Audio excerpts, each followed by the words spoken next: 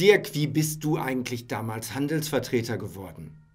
Wenn dich das interessiert, dann bleib dran.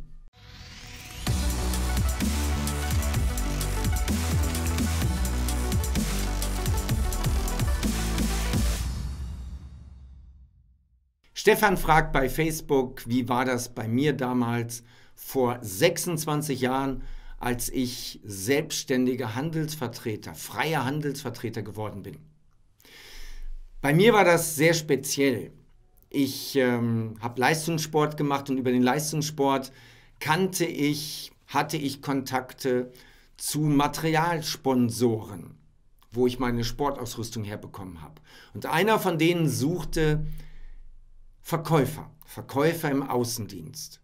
So, ich habe eine kaufmännische Ausbildung, ich kannte die Produkte, ich konnte unfallfrei reden, also kann ich auch verkaufen. Habe ich gedacht. Ich habe mich dann dort vorgestellt. Es gab niemals eine Bewerbung. Ich habe mich einfach vorgestellt, angerufen, Termin gemacht, hingefahren, vorgestellt und dann hat man gesagt, okay, du kannst starten. Aber sie wollten damals 50.000 Euro von mir haben für dieses Gebiet. Also ich sollte eine Ablöse für das Gebiet zahlen, um überhaupt als Handelsvertreter dort loslegen zu können. Das ist üblich so, weil du übernimmst ja auch kaufende Kunden. Und selbst wenn du dann keine eigenen Umsätze machst, kommen ja trotzdem Umsätze rein. Ich hatte die 50.000 nicht, also hat man mir angeboten, als angestellter Reisender zu arbeiten. Das habe ich zwei Wochen lang gemacht und dann gab es die Gelegenheit, rückwirkend den Vertrag als Handelsvertretervertrag umzuschreiben.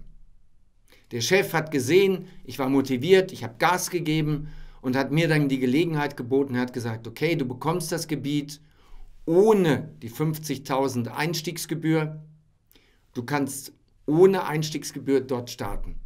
So, das habe ich gemacht und habe dann insgesamt neun Jahre lang als Handelsvertreter im Außendienst meine Brötchen verdient. So war das bei mir. Übrigens der Tipp an der Stelle, Handelsvertreter kann jeder werden, du musst einfach nur dein Gewerbe anmelden.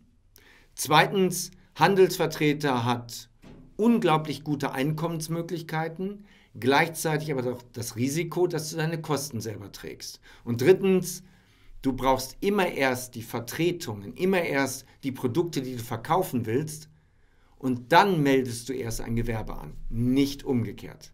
In dem Sinne, ich wünsche dir fette Beute.